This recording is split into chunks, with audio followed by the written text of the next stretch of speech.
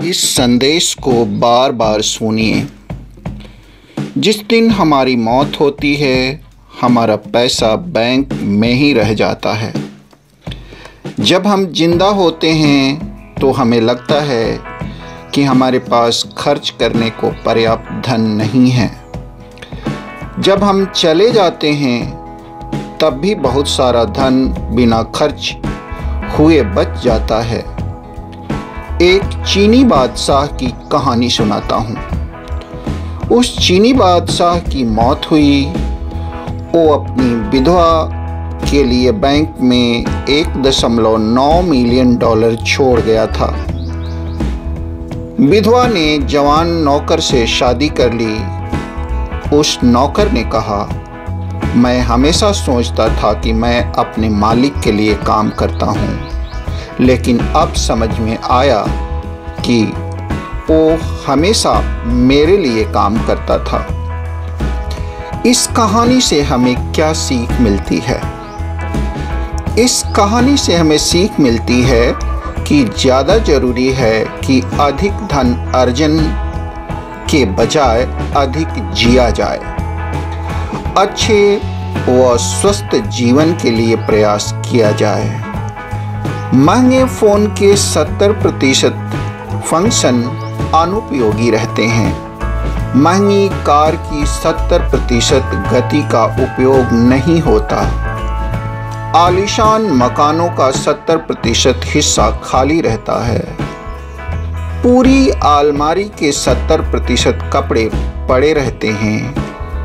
पूरी ज़िंदगी की कमाई का 70 प्रतिशत दूसरों के उपयोग के लिए छूट जाता है। 70 प्रतिशत गुणों का उपयोग नहीं होता है। तो 30 प्रतिशत का पूर्ण उपयोग हम कैसे करें? स्वस्थ होने पर भी हम निरंतर चेकअप कराएँ। प्यासे न होने पर भी अधिक पानी पिएँ। जब भी संभव हो, अपना अहंकार त्यागें। शक्तिशाली होने पर भी सरल बने रहें। धनी न होने पर भी परिपूर्ण रहें। बेहतर जीवन जीने का तरीका इस प्रकार है। प्रार्थना के वक्त अपने दिल को काबू में रखें। खाना खाते समय पेट को काबू में रखें।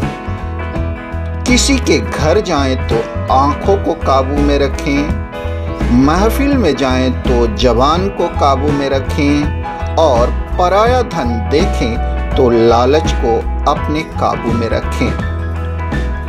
आप अपनी नेकियों को भूल जाइए, दूसरों की गलतियों को भूल जाइए, अतीत के कड़वे संस्मरणों को भूल जाइए।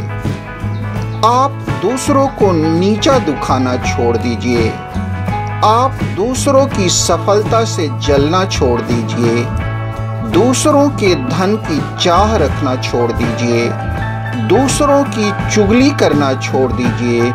दूसरों की सफलता पर दुखी होना छोड़ दीजिए। आपको एहसास होगा कि आपकी ज़िंदगी बदल रही है।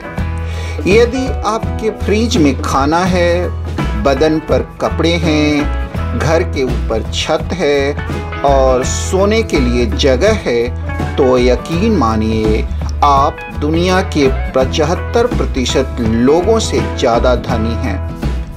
यदि आपके पर्स में पैसे हैं और आप कुछ चेंज के लिए कहीं भी जा सकते हैं, जहाँ आप जाना चाहते हैं तो यकीन मानिए, आप दुनिया के 18 प्रतिशत धनी लोगों में शामिल हैं।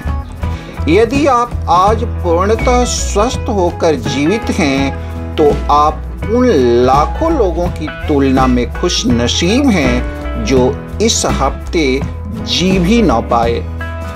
जीवन के मायने दुखों की शिकायत करने में नहीं है, बल्कि हमारे निर्माता को धन्यवाद करने के अन्य हज़ारों कारणों में है।